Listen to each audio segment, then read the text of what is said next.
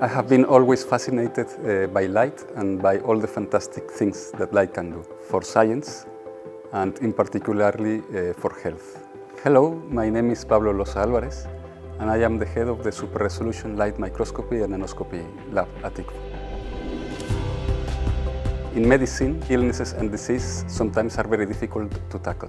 And what we do is to understand uh, the properties of light and how we can use the light and matter interaction, especially with biological samples, to extract more information from the biological sample. We need to take complex images and we need to make sense of these complex images by quantifying them. The things that we do have an important implications, for example, in cancer research. We understand uh, how cells behave and move inside the organs. Other example is, for example, neurobiology.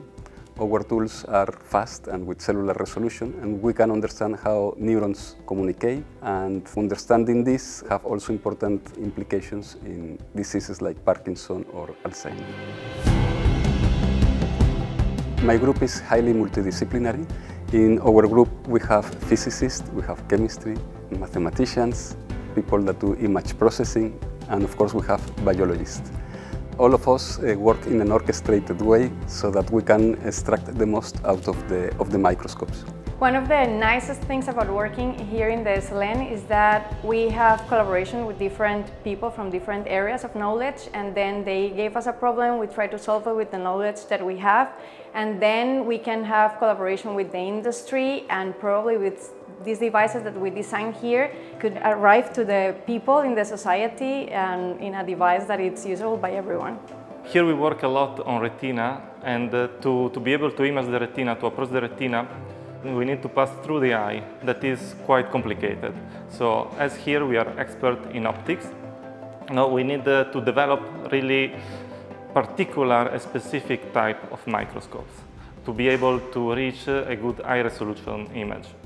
So yeah, as a chemist, I'm able to prepare my own samples here in the biology chemistry lab. And then just two doors after it, I have my, my optics uh, lab where I have the microscopes uh, from the group, also some microscopes that I'm playing with. And I can see my own samples in the same corridor, just really nearby, one, uh, one lab to the other. I think that's quite unique uh, from ICFO. At the SLN uh, lab, we are committed for a fast return of the society of the things that we do. And to help in that, we uh, strongly collaborate with international groups. We are part of different international infrastructure facilities, and we work closely with companies that are the main challenges in the microscopy field.